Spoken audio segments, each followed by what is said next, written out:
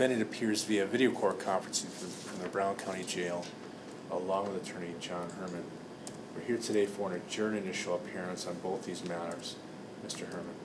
Thank you. It's my understanding that Attorney Eileen Henry has been appointed for both these files.